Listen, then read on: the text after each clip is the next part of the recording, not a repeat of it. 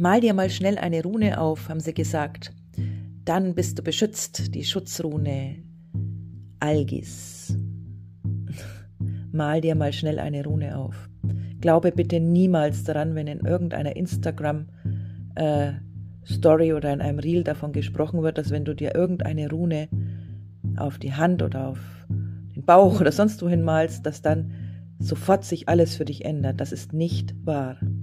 Dennoch ist die Macht der alten Magie und die Macht der Runen unfassbar groß, wird aber sehr gescheut von denen, die ja heute Wissenschaft betreiben. Es ist die Macht des alten Landes, des alten Volkes, die Natur der Magie selbst.